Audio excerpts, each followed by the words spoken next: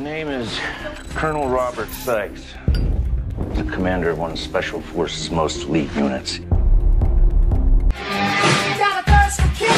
Not a sign of a shadow. I'm going down there, and that's it. It's the only way to fight what's coming. What is it with all these nicknames? Speedo, Viking, Eskimo. Did you have a nickname? If I'm the bad guy, what does that make you? Wait a minute. This house until we knock it down. So turn the volume loud. It's just spitting to the head. So baby, make just like cake. Better let yourself out. You know what I'm afraid of?